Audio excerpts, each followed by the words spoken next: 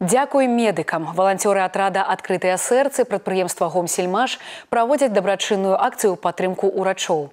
Першымі словы падзякі і прыемныя падарункі атрымалі супрацоўнікі трэцяга філіяла гомельскай цэнтральнай гарадской паліклінікі. Маскі, пальчаткі, ахоўныя касцюмы і шчыткі. Гэта тое, у чым урачы маюць патрэбу кожны дзень. Медыкі ў чырвоных зонах паліклінік працуюць у вельмі напружаным рэжыме.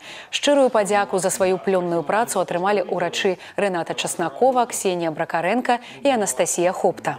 Мне хотелось бы сказать слова благодарности э, отряду «Открытые сердца». Огромное спасибо за эти мелкие приятности для нас. После таких приятных слов и подарков нам хочется дарить вам наш труд еще больше. Спасибо. Акцыя будзе мець працяг і хутка валанцёры завітаюць і да іншых герояў нашага часу.